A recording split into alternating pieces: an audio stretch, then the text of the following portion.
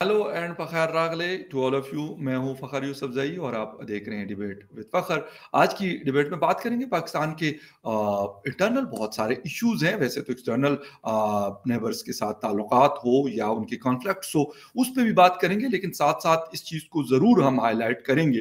आ, कि जो कुछ सिक्योरिटी सिचुएशन है या इकोनॉमिक फ्रंट है पोलिटिकल सिचुएशन भी कुछ ज़्यादा अच्छी नहीं है। क्योंकि कुछ लोग ये भी साथ मतलब बता रहे हैं गवर्नमेंट के कि भाई हमें हुकूमत तो दी गई, लेकिन साथ में वो हमारे ऊपर कुछ प्रेशर भी डाल रहे हैं। तो ये, इससे, इसका ये मतलब है कि कुछ पॉलिटिकल स्टेबिलिटी जो हम एक्सपेक्ट कर रहे थे आफ्टर द जनरल इलेक्शन वो ज़्यादा कोई देर पास साबित नहीं हो रही। और पंजाब में भी इस तरह की बातें हमें सुनने को मिल रही है और फेडरल गवर्नमेंट भी इसी तरह की बातें करे ख्वाजा आसिफ साहब ने तो बल्कि कहा हुआ है कि पाकिस्तान दिवालिया हो चुका है, लेकिन क्या ऑफिशियली डिक्लेयर करेंगे इस बात को या नहीं। दूसरी तरफ़ B L A T T P I S I K यानी दाइश भी जिसको कहा जाता है, उनके ताबड़तोड़ हमले हो रहे हैं और उसकी वजह से हमारे सिक्योरिटी एजेंसीज हों या फिर इसके अलावा जिस तरह चीन है, बाकी ज़्यादा कंट्रीज़ तो यहाँ पे इन्वेस्टमेंट नहीं कर रही, लेकिन चाइना ही वाहिद मुल्क है जो अपने कुछ ना कुछ काम कर रहा है और प्रोजेक्ट्स चला रहा है। तो उनके ऊपर बहुत बड़ा हमला जो अभी रिसेंटली हुआ, उसके बाद की क्या सिचुएशन है वो काफ़ी गुस्से में भी है और उन्होंने अपने एक टीम भी भेजी हुई है कि पाकिस्तान के अंदर जो इन्वेस्टिगेशन हो रही है, उसको हम देखेंगे क्लोजली मोनिटर करेंगे। बाकी दुनिया क्या कर रही है? इंडिया के हवाले से आज मैं खबर पढ़ रहा था कि उनका जो ग्रोथ रेट है that is more than eight percent in last two month यानी फेबर और मार्च में। तो एक तरफ़ बड़ी पॉजिटिव खबर है और बहुत अच्छी खबर है खुशी की खबर है आ, लेकिन हम क्यों नहीं कर पा रहे? इस पे आज थोड़ी सी बात करेंगे और इतफाक है कि डॉक्टर साहब जो हैं इस वक्त हिंदुस्तान के शहर यानी वहाँ के कैपिटल न्यू दिल्ली में मौजूद है। उनका एक टूर है जिसके मुख्तलिफ़ जगहों पर वो जा रहे हैं। मुख्तलिफ़ थिंक टैंक्स में मुख्तलिफ़ जगहों पर लोगों से मुलाकातें भी कर रहे हैं। तो वो ज़्यादा एक जिसे कहते हैं ना कि एक फ़ील्ड के अंदर उस फ़ील्ड के उस जगह के अंदर मौजूद है जहाँ की हम बात कर रहे हैं। हमारे साथ मौजूद है सीनियर एनालिस्ट है डॉक्टर इश्ताक अहमद साहब। डॉक्टर साहब thank you very much for joining my show बहुत बहुत शुक्रिया इनवाइट करने का फखर साहब। Fakhar once again thank you very much sir आपके टाइम को बहुत शुक्रिया। सर uh, आप uh, मतलब लास्ट uh, ईयर भी गए हुए थे अभी भी हैं। लाजमी सी बात है वक्तन फोख्तन उस जगहों के हवाले से भी बात करते हैं। इलेक्शन भी है वहाँ पर गेमा गेमी होगी लाजमी सी बात है सारी पार्टीज़ कोशिश कर। रही है लेकिन बात हम पाकिस्तान की शुरू से करेंगे कि आ, काफ़ी एक आ, मुश्किल सूरत हाल का हमें सामना रहता है। एक तो जिस तरीके से ख्वाजा आसिफ साहब कह रहे हैं मतलब डिफेंस मिनिस्टर है, सीनियर पॉलिटिशियंस में से है कि पाकिस्तान दिवालिया हो चुका है। लेकिन ऑफिशियली हम यही कहते कि आईएमएफ से पकड़ लेंगे पैसे, वर्ल्ड बैंक से पकड़ लेंगे पैसे, सऊदी अरेबिया, यूएई से पैसे पकड़ लेंगे तो हमने अपने आप को बचा लिया या पाकिस्तान को डिफ़ॉल्ट से बचा लिया। सर, क्या प्रैक्टिकल होंगे कभी हम या इसी तरीके से चीज़ें चलती रहेंगी? लगता है कि इसी तरीके से चलती रहेंगी। क्योंकि अगर दिवालिया ऑफिशियली ये डिक्लेयर कर दें तो उसके कॉन्सिक्वेंसेस भी फेस हमें करने चाहिए फिर ताकि उसमें से निकला जाए। पिछले दिनों श्रीलंका को दिवालिया अपने आप को डिक्लेयर करना पड़ा। तो इकोनॉमीज का सत्यानाश तो हमारी रूलिंग क्लास ने किया ही हुआ है। और दिवालिया बहुत सालों से हो चुका है एक्चुअली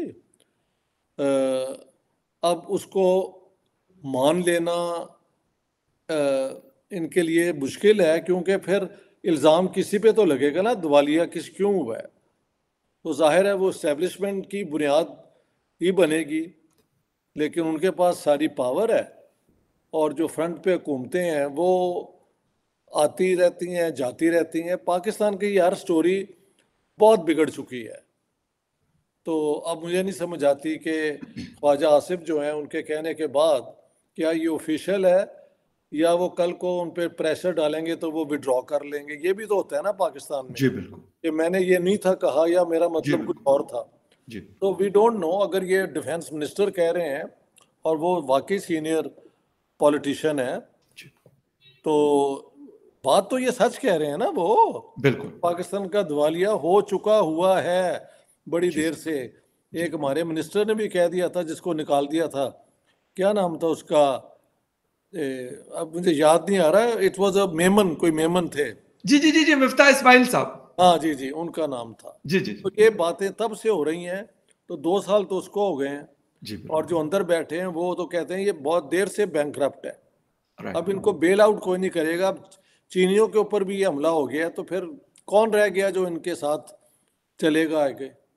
राइट. अच्छा सर, आपने बात की स्टैब्लिशमेंट की बिल्कुल एक एक तलख हकीकत है, उनका इन्फ्लुएंस या उनकी ताकत या उनका हुकूमत चलाने का जो भी तरीका होता है वो एक हकीकत है पाकिस्तान की, हम जो मर्ज़ी कह दें, लेकिन उसको शायद हम जुटला, कोई भी नहीं जुटला सकता, न मैं, ना आप, ना कोई और लेकिन सर फिर हमारे पॉलिटिकल लोग अगर इतने मजबूर है कि ये आज तक बड़े सीनियर लोग हैं और तगड़े लोग भी बीच में हैं। मैं ये नहीं कहता कि सारे कोई वीक है, लेकिन क्यों नहीं कर पाते इस बात को कि भाई करते आप हैं, जलील या गंदे हम हो रहे होते हैं। जिस तरह भी रिसेंटली एक क्लिप बड़ा वायरल है शहबाज शरीफ साहब का, कहते हैं वैसे भी हम कहीं चले जाएँ तो मतलब विज़िट करने के लिए तो कहते कि जी वो कह रहे हैं कि कशकोल लेके आ गए मांगने के लिए।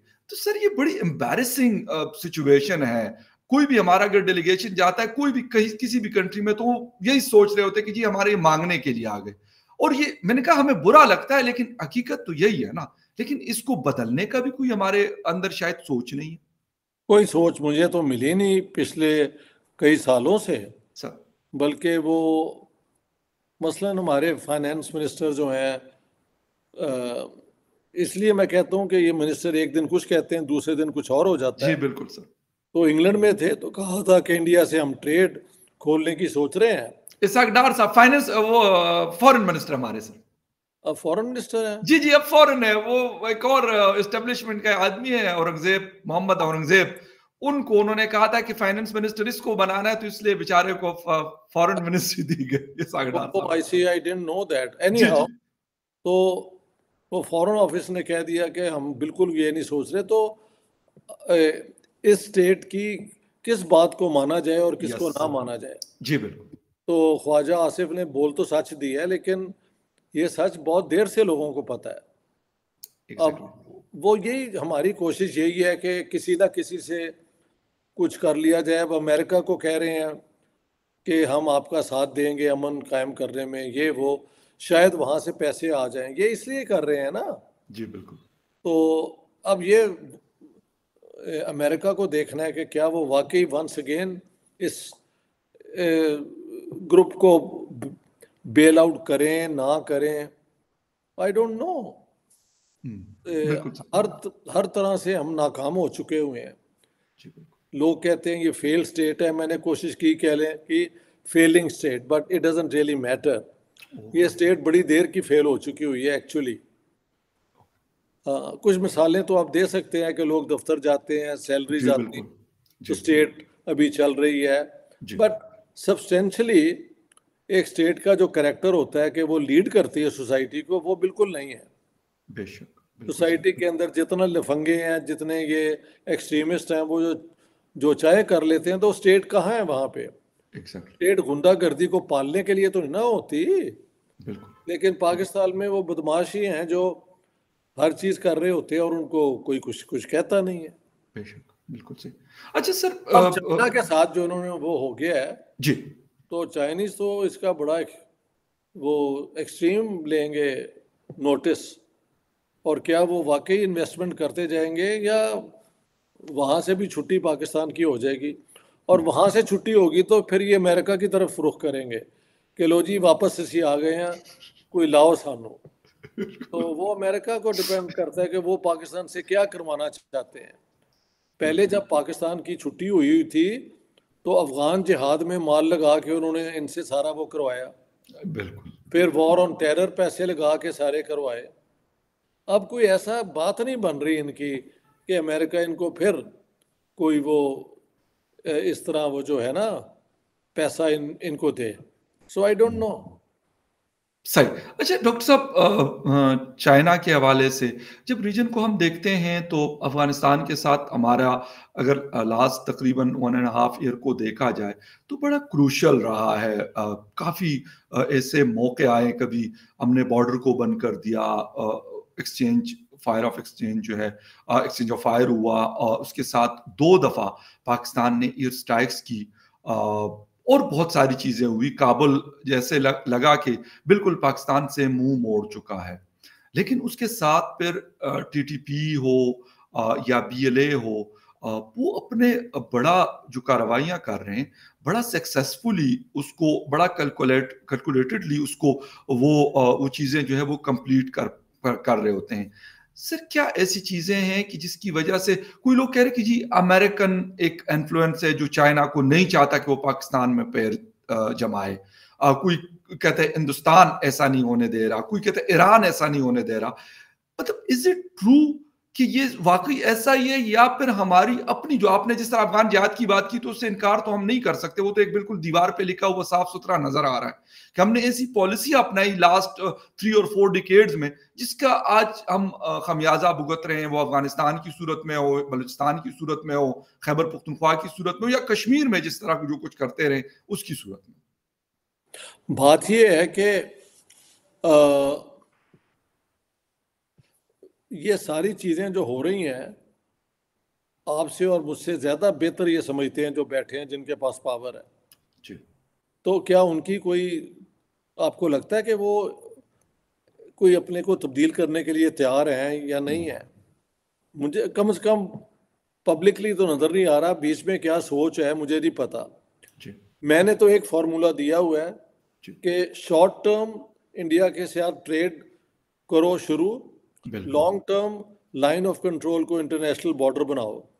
और इन चीज़ों को मान के अपने मुल्क की खिदमत करने का तरीका ढूंढो और शायद तुम्हारा उसमें कुछ हो जाए। लेकिन ये दिवालिया हो चुका हुआ है। ये वो मुल्क नहीं है जिसकी छोटी कोई गलती है जो वो क्या कहते हैं कोर्स करेक्शन हो जाए। इनको फंडामेंटली अपने आप को बदलना पड़ेगा। या ये इस तरह चलते रहेंगे क्योंकि दुनिया अफोर्ड नहीं कर सकती इतना बड़ा मुल्क कलेप्स कर जाए। समझे आप? फिर सारी दुनिया के लिए मुसीबत हो जाएगी लोकल जंगें शुरू हो जाएँगी और खाना जंगी शुरू हो जाएगी। इतने ये पंजाबी सेटल्ड हैं कराची में सिंध में उनके साथ झगड़े शुरू हो जाएँगे और ये सारा कुछ खून खून रेजी फिर होगी। और फिर एक दो मिलियन तो आ ही जाएँगे इधर वेस्ट के अंदर पोलिटिकल साइलम लेने के लिए। तो कौन इनको अपना कबूल करने को तैयार है? अब तो सारे दरवाजे बंद होते जा रहे हैं।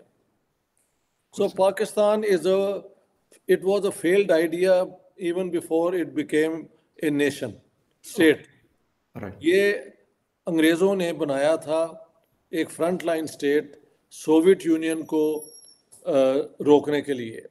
वो काम वेस्ट ने अपना करवा लिया। और इसके बाद अब उनको समझ नहीं आती कि इसी दौरान ये न्यूक्लियर पावर बन गए हैं। तो एक मसला तो है ना न्यूक्लियर पावर है। बिल्कुल। तो ये एक ब्लैकमेलिंग रोल भी इनका रहा है। जी। उससे पैसे भी मिल जाते हैं थोड़ी सी रिलीफ मिल जाती है कि हम दुनिया को डिस्टर्ब कर देंगे ये कर देंगे वो कर देंगे। लेकिन जो मुझे समझ आती है दुनिया में अब कंसेंसस है कि इनको वो खुली छुट्टी नहीं देनी। हम्म। वो एक कौन सा बिल था? Kerry Lugar bill. जी जी जी। तब ही नप दिया था इन्हें कि ये करोगे तो पैसे मिलेंगे। जी। अगर आइंदा भी कभी मैसे पूसे मिले तो उनकी खिदमत होगी तो ये करेंगे इनको पैसे मिलेंगे। लेकिन क्या पाकिस्तान का फ्यूचर उससे बेहतर हो जाएगा? आई डोंट थिंक सो तो we are caught up now in a vicious circle जिसे कहते हैं। बिल्कुल। ये वहाँ से निकलने के काबिल नहीं है। अलबत् अगर वाकई हुकूमत समझती है कि उनके पास कोई पावर्स नहीं है तो ये रिजाइन क्यों नहीं कर देते? Why do they form the government very right sir बिल्कुल सही। Why do they form the government exactly जब आपके साथ को ये इमरान खान भी बाद में मैंने कहा तुम क्यों हुकूमत करते रहे? रिजाइन कर देते। कि जी जिस लिए हमको इलेक्ट किया है उसको पूरा ही नहीं होने देते तो आई एम रिजाइनिंग तो तब तक तो नहीं किया इन्होंने। अब ये ये वाली हुकूमत भी यूँ है। तो खैर मरियम नवाज़ साहिबा ने पहले पंजाबी के हक में कोई बयान दिया है मैं खुश हूँ। दूसरा वो ईस्टर पे कहीं चली भी गई है क्रिश्चियन कम्युनिटी के अंदर। ये भी एक खुशी की बात है।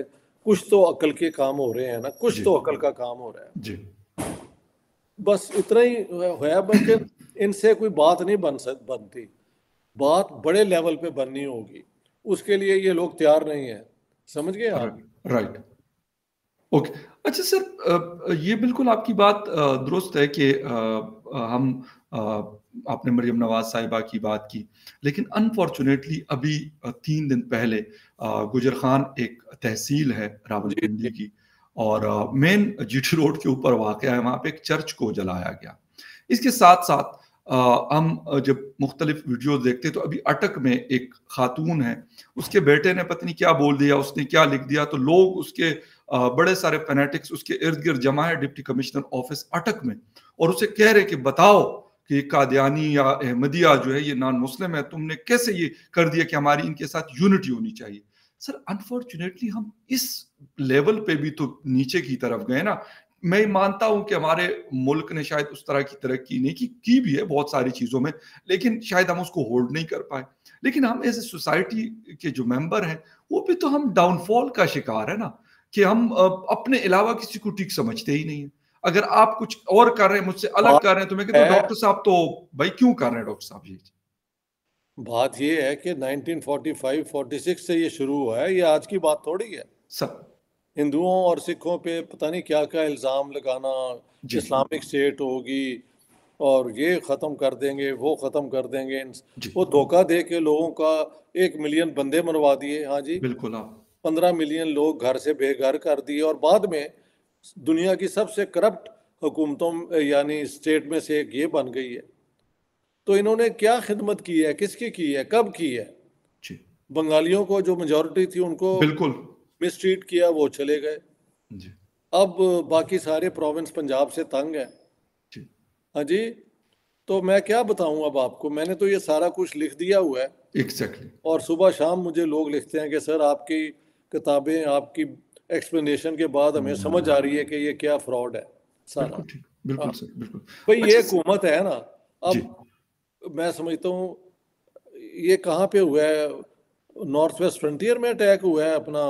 चर्च के ऊपर सर गुजर खान रावलपिंडी की तहसील है जीटी रोड के ऊपर। टुवर्ड लाहौर अगर आप जीटी रोड से जाएँ। वहाँ जाना चाहिए जहाँ पे ये हुआ है मैं समझता exactly, अगर चली जाए तो ये एक अच्छा सिग्नल होगा। एग्जैक्टली बिल्कुल हाँ, बिल्कुल।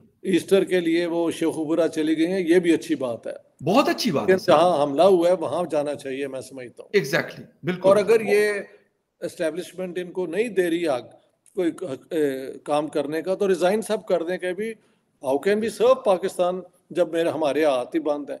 हुकूमत कैसे बन जाती है? एग्जैक्टली exactly, बिल्कुल। इस तरह बन जाती है और ये पॉलिटिशियंस हैं। हाँ। सर बिल्कुल आपका वैलिड मतलब पॉइंट है कि हमें तो ये कह रहे होते कभी कहते हैं आईएमएफ के सामने मजबूर है कभी कहते हैं अमेरिका मजबूर कर रहा है कभी एस्टेब्लिशमेंट के भी दबे लफ्जों नाम ले लेते हैं कभी ओपन भी ले लेते हैं कि भाई वो हमें नहीं करने देते। तो सर जब नहीं करने देते तो फिर आप क्यों आके हमारे ऊपर मुसलत हैं? अब रिजाइन कर दो से exactly we have no mandate no powers to do what we want to तो वी आर रिजाइनिंग वो भी नहीं करते। हाँ जी? Exactly exactly. बिल्कुल। अच्छा अच्छा सर थोड़ा सा पाकिस्तान की सिचुएशन पे बात तो हम कर रहे हैं लेकिन आ, क्या इन फ्यूचर आपको लगता है आ, जिस तरह चाइना कह रहा है कि भाई हमें आपकी सिक्योरिटी के ऊपर बहुत सारे कंसर्न्स हैं इवन इन्वेस्टिगेशन के ऊपर वो कह रहे कि भाई हमें शायद वो उस तरह का काबिल कबूल नहीं, इसलिए उन्होंने एक बड़ा डेलीगेशन भेजा है मुख्तलिफ़ सिक्योरिटी के लोगों का कि भाई ये देखेंगे कि आप प्रॉपर इन्वेस्टिगेट करते हैं जो अभी रिसेंटली खैबर पुख्तनख्वा में हमला हुआ उनके इंजीनियर्स के ऊपर। क्या वजह हुई है कि सर हम हालाँकि हमारे पास एक बड़ी फौज है आईएसआई जैसी एजेंसी है हमारे पास और बहुत कुछ कुछ है जिसका हम हम काफ़ी प्रचार करते हैं हम बोलते रहते हैं कि जी हम तो इस नंबर पे हैं हम इस नंबर पे है चले जिस नंबर पे भी है लेकिन एक और हाँ न्यूक्लियर पावर है ये भी हम बहुत ज़्यादा बात बा, बार बार ये बात करते हैं लेकिन क्या वजह होती है कि हम इस तरह की चीज़ों में अब, अब, मतलब जिसे हम उसमें इन्वॉल्व हैं भैया हम्म। ये बॉम्बे में अटैक एवं थोड़ी हो गया था कहीं ना कहीं से तो इशारा होगा ना एग्जैक्टली exactly. ये कर दो। चाहे हो सकता है उस हुकूमत ने मुझे नहीं लगता कि उन्होंने कहा था कि ये करो लेकिन किसी ने करवा दिया और कोई पकड़ा भी नहीं गया। नहीं वो अब जाके हाफिज सईद सूद को दुनिया का प्रेशर बढ़ा है तो जी। वो किया हुआ है ना बाकी लखवी ये तो मानते ही नहीं है कि हमने किया अटैक। तो ये तो मानते नहीं कि वो जो था अजमल वो अजमल। पाकिस्तानी था। हाँ ये सब इस किस्म का ये जहन है और इनके जो ये लेवल बड़ा लो है यार इन अपना बात करने का ना? एग्जैक्टली ये फजूल बातें बहुत करते हैं ये सारे। जी। तो what can you be do यार? राइट अच्छा सर हाँ जी। हाँ जी एक तरफ़ अगर हम बात करते हैं पाकिस्तान के ग्रोथ रेट की तो वन वन एंड हाफ़ कह रहे कि चल रहा है। इंडिया का निर्मला उनका, उनकी फाइनेंस मिनिस्टर है तो कह रही थी कि भाई, उन्होंने भी दो दिन पहले अनाउंस किया कि एट प्लस में हमारा ग्रोथ रेट चल रहा है। सर आप मतलब जाते रहते हैं, आपका आना जाना होता है, देख रहे हैं। और पाकिस्तान भी, लाजमी सी बात है, पाकिस्तान भी आप आते हैं। लेकिन क्या ऐसी गलतियाँ हम करते हैं, जो वो नहीं कर रही, अगर उन्होंने की तो उन्होंने सुधारी है, और हमने उसको कंटिन्यू किया बड़ा फंडामेंटल फ़र्क है।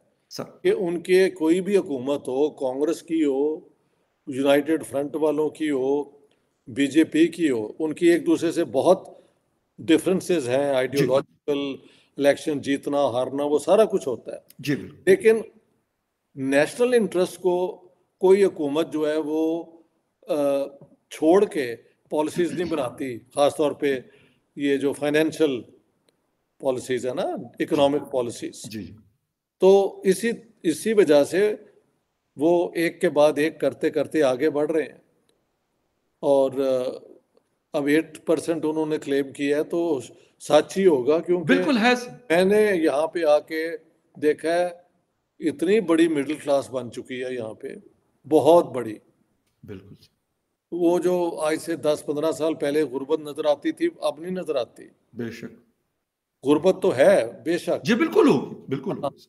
लेकिन कम होती जा रही है। कम होती जा रही हाँ, वो पढ़ाई लिखाई पे उन्होंने बहुत ज़ोर दिया है टेक्नोलॉजी पे साइंस पे दिया है।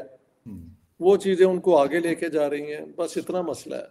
राइट और मेरे ख्याल में जो डॉक्टर साहब ने बात की इसी पे ख़त्म करेंगे कि उन्होंने अपने नेशनल इंटरेस्ट को प्रायोरिटी पे रखा। और हम दूसरों के इंटरेस्ट को तो शायद प्रायोरिटी पे रखते हैं। मेरा मतलब दूसरों के इंटरेस्ट क्या होते हैं? तो पर्सनल इंटरेस्ट लोगों के जो गवर्नमेंट में है या एस्टेब्लिशमेंट में वो अपने इंटरेस्ट को टॉप पे रखते हैं और कहते हैं, मुल्क के हालात ठीक है आईएमएफ से ले लेंगे, चला लेंगे, साल दो चला लेंगे, फिर कोई और हुकूमत आएगी। फिर वो मांग तांग के और आवाम के ऊपर मजीद बर्डन डालकर उसको आगे बढ़ाते जाएँगे। लेकिन इंडिया ने शायद इसके बिल्कुल ऑपोजिट काम किया इसलिए उनकी जो पॉवर्टी लाइन में लोग रह रहे थे अंडर द पॉवर्टी लाइन वो निकलते निकलते उनकी जो मिडिल क्लास है वो एक्सपेंड करती जाए और हमारे यहाँ जिसे कहते हैं कि वो बिल्कुल श्रिंक करती जा रही है। फ़र्क डॉक्टर साहब बिल्कुल डॉक्टर साहब ने बिल्कुल उसकी एक बड़ी अच्छी पिक्चर एक अच्छी तस्वीर कशी की और हमें बताया लेकिन जिनको ये बात आगे बढ़ानी है या जिनके ऊपर इम्प्लीमेंट करना है चीज़ों को तो अगर वो इसके ऊपर अमल कर दें तो शायद हमारे हालात बेहतर हो और ये जिस मुसीबत से हम गुजर रहे हैं इसमें बेहतरी आ जाए। डॉक्टर साहब आपके टाइम का बहुत शुक्रिया कि आपने शो ज्वाइन किया। इन viewers thank you very much for watching debate with Fakhar Yusuf किसी और डिबेट में आपसे फिर मुलाकात होगी तब तक के लिए take care and bye you welcome thank you thank you sir thank you very much sir